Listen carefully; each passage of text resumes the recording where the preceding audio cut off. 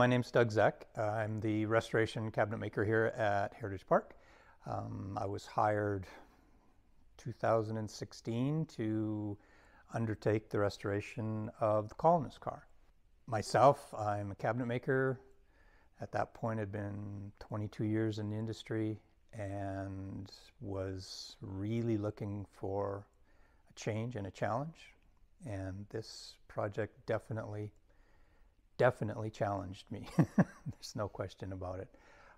Uh, Colonist car at that point had been here at the park since 1964, had been used on the rail line as passenger car, had been a movie set for a documentary, um, a hot dog stand, had gone through various incarnations in its lifetime. And when I was hired, it had been relegated to this building as a static display and was in really, really rough shape. Uh, the colonist car itself uh, was built in 1905 in Angus Yards in Montreal.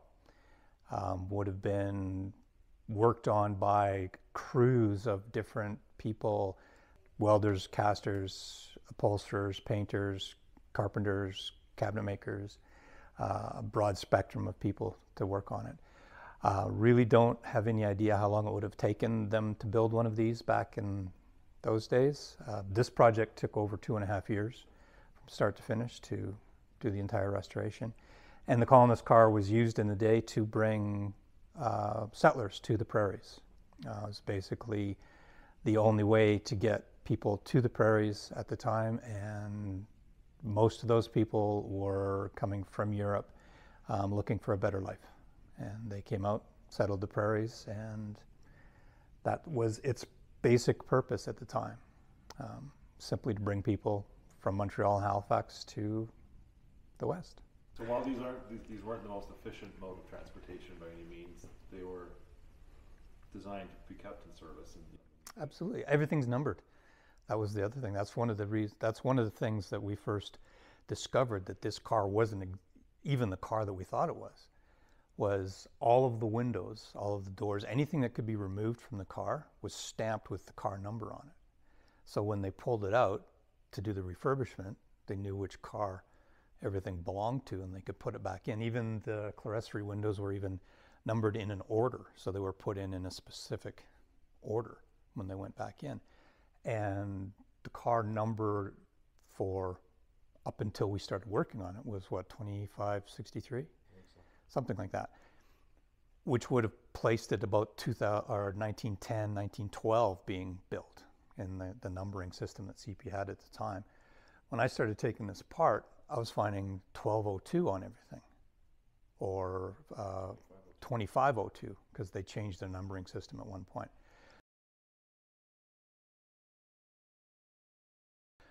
which made this car the third colonist car ever built of this style. And it was the first actual colonist car because 1200 and 1201 were uh, tourist level cars. They were much higher in fit and finish. So this was actually the first colonist car of this series ever made. And we only discovered that when we started pulling out the windows and looking at the numbers on the windows. And we're like, this should say 2568. so we got the the, our, the historians that we worked with on the car involved, and they said, no, well this is, yeah, this is right. So um, Doug Phillips investigated further, and it turns out they had two of these at Alyth Yards in Ogden when they donated them to the park. Uh, one was scheduled to be burnt, and one was scheduled to be donated to the park. Well, they picked up the wrong one. So they they actually picked up the oldest car that they had and brought it here to the park, and then they destroyed the other one. So this one was scheduled to be destroyed. To actually definitely confirm that it was 1202 was they said, well, underneath the header of the door in gold leaf, it should say 1202. And then Mike was cleaning it out one day with the heat gun in the paint, trying to peel it off, and sure enough, there it is, gold leaf 1202 under like under like five layers of paint. Right. So. And there's there's some conjecture that we never got res- resolution on because of the archive fire, this car may have actually been the prototypical car. But there was some discussion that this might have been the one that they were trying stuff on, and when they were building double zero and zero one, but Yeah, because we had a mix of mahogany and, and ash on one end. That was, and it, and it wasn't like, you know, they, they did all the exterior posts in mahogany. It was like, this one was mahogany, this one was fir, this one was ash. It's like, we, we got to get this built. What have we got laying around the shop that we can use, kind of thing. So, so yeah. we never, I will never know for certain that that was the case, but I know that was Doug Phillips' conjecture at the time. So, So- it's an interesting little quirk in its history. We'll never know for sure, but it, it I like to think it's about there.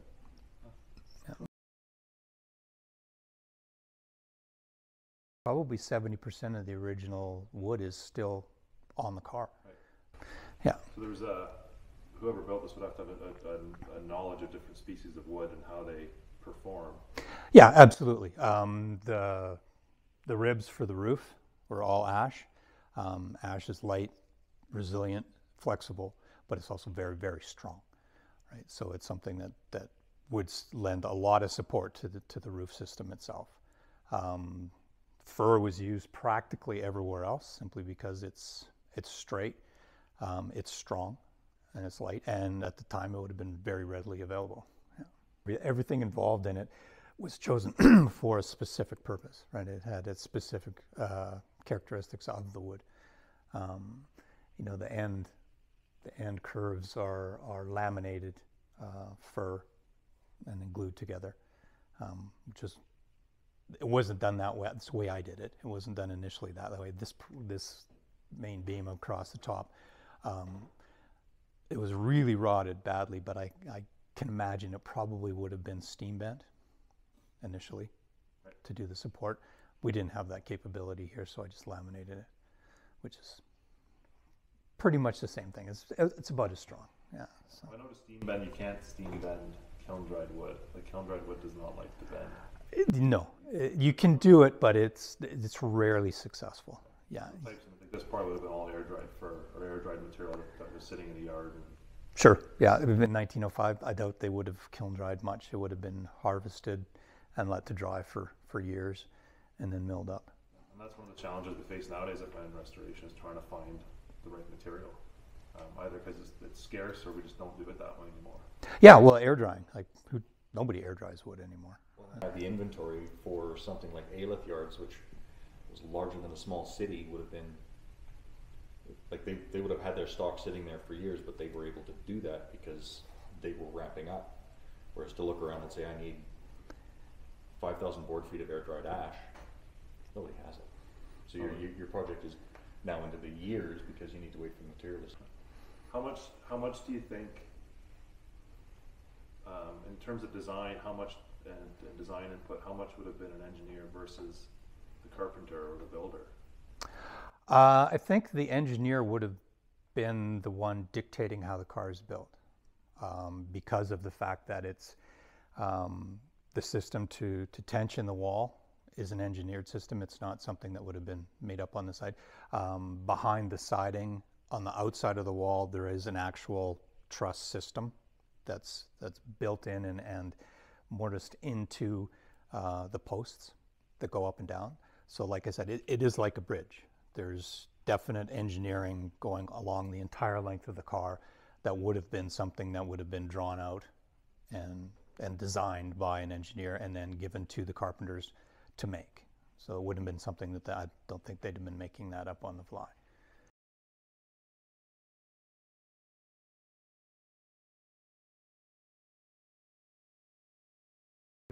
You can tighten the whole entire car up and down or loosen it from need be because you wouldn't want it too tight because this does need to flex and bend.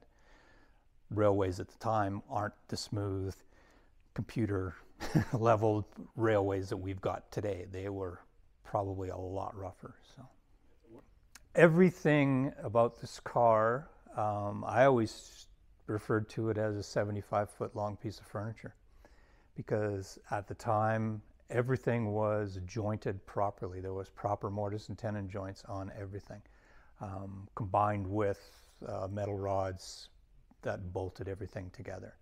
So that can be adjusted from underneath. You can still get at the bolts and tighten them up if, if need be. Right. Like we had to replace uh, about 25 feet of one end. At some point, um, the car was derailed was derailed here at the park, but I don't know if that's when the damage was done. But the main sill beam that runs the full length of the car was broken, about 25 feet of one end of the, the car that had no internal support in the wall and no support from the beam from the, the queen joint back. It was like that end of the car, when you looked at it initially, sagged a good six or seven inches. It was like this. you know, one of the more challenging things I had to do, how to cut dovetails on a corner of an angled curved piece so that everything went together at a specific angle. So I don't know what systems they'd had in place back in 1905 for doing it. We had a few of the original seats that are all dovetailed together. The dovetails appear to me to be machine made. They didn't look handmade, they were far too regular. I've had some kind of dovetail, automatic dovetailing device that they used in Angus yards to do it um, because of simply because of the regularity of them. Are, this was built in a factory, right? They, these were rolled off of a factory line. There could have been something like that, or the skills that these guys had could have been such that this is just the level of craftsmanship that we saw was that the, every single one is the same and every single one is perfect right? So it, it was it was really hard to say. Um, I didn't do any of the dovetailing by hand. I made custom router jigs to do all of the dovetailing. So it was. What kind of trades did Heritage Park have um, for the restoration? The carpenters that were here helped me a little bit. Um, we had uh, myself uh, doing the lion's share of the work on it, and my my training is basically just in cabinet making, not even in carpentry. So um, the painters that we had working on it. Um, you know, Joe and his crew. This is three or four coats of varnish over top of the paint, so, and it's all done by hand with a brush. Yeah, so um, that part of it was very traditionally done. Uh, they just don't do a lot of spraying here. Like, um, who else do we have? We had welders that worked on the trucks um, taking them apart. We didn't really have much of that metal work redone. It was more just pulling them apart because the trucks themselves are wooden with metal plates around the uh, the wood interiors. We had to rebuild the wood completely. It was so incredibly badly rotted that you tapped on it with a hammer and it sounded hollow. And as soon as we took the metal plates off, it just kind of disintegrated. So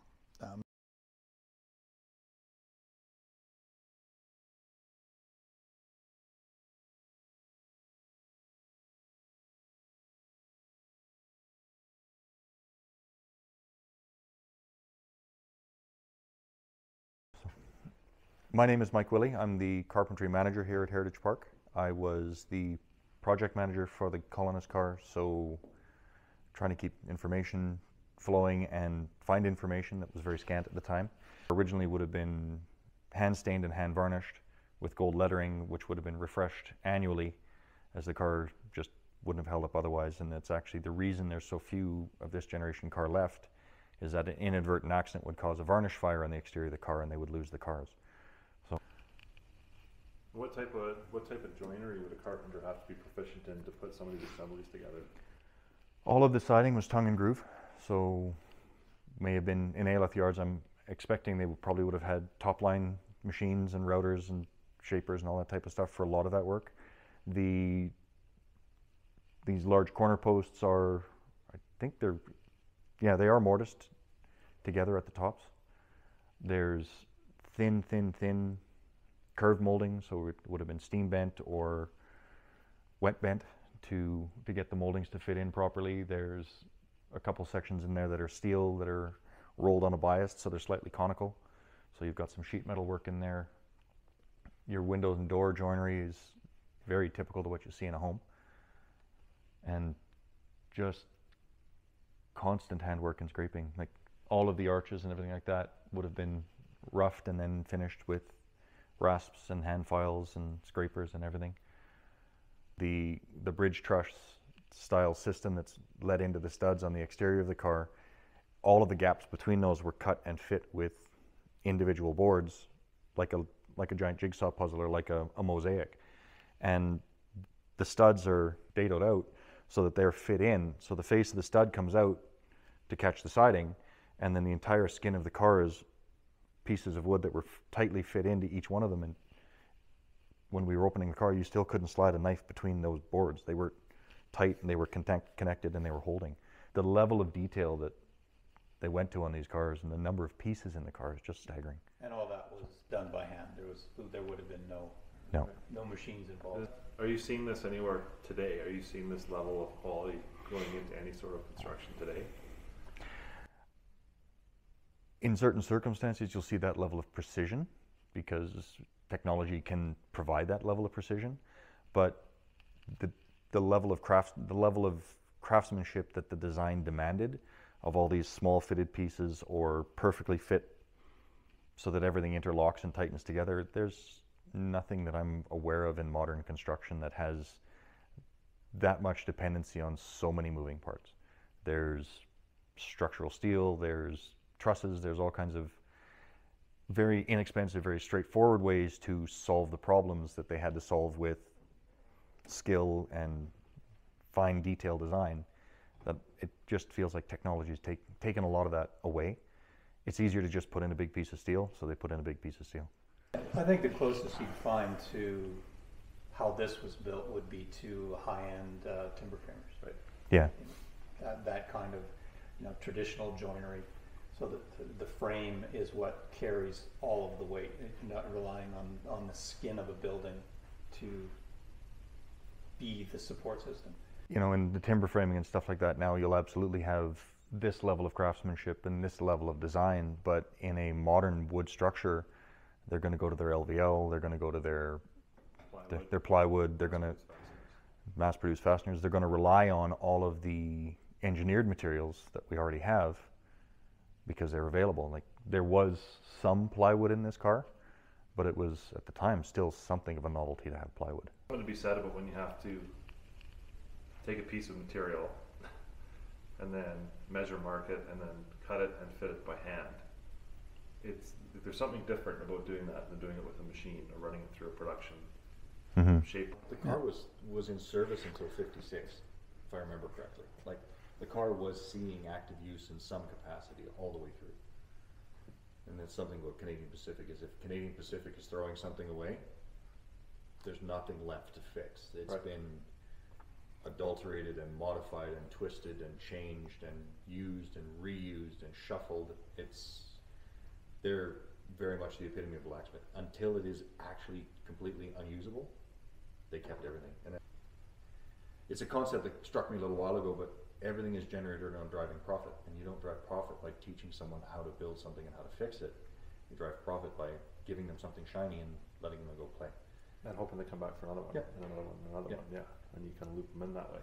Engin- engineering the dependence, engineering the, the inability to solve the problem for Yeah. themselves. And this is where like this is where the art of making and, and being in the trades and Yeah. being a, a builder or a maker is, is so um, like to me it's, it's exciting. It's an exciting thing to learn and to, to be able to do because you can take care of yourself. Now you become more self-sustaining. It's, it's Mhm. and this is where we want to talk about the new green movement. We want to be more sustainable. Well, how do we be more sustainable? We put people to work and, and you try and use less material and reuse as much as you can and service as much as you Mhm. can. Which you see here. Mean, this is everything here is serviceable. And arguably Three inch by ten inch beam that runs the entire length of the car above the, the sill beam, which is eight inches by eight inches. And that beam is notched around each one of the, the posts and the studs that goes down, so it's notched to fit around everything. And it was really badly dry rotted out, so we had to replace it, but when I, as I pulled it off, I was able to actually use the maker's marks from when they originally marked to cut those slots to transfer onto the new beam because they were still there. They didn't use a pencil, they used the scribe. describe, yeah, yeah. Yeah. So it was scribed into the wood in on like every basically every 12 inches for 75 feet was scribed, and I was able to use those actual marks to recreate the new one with a router, and then stand it up, and it just slid on perfectly. So it was like I was able to use their original. I didn't have to pull a measuring tape out. I just transferred each mark across. That's ever cool, hey? Yeah. Yeah. So, and, and that's one of the, the coolest things about doing this was the evidence of their hand in the building of the car was, was everywhere. Even to, down to the point where you pull one piece of siding off and there's all the names of the guys written in pencil Oh, on the yeah. back of the Yeah. side. Yeah. Yeah, so Yeah. they, they'd signed maybe the last piece that went on. Yeah.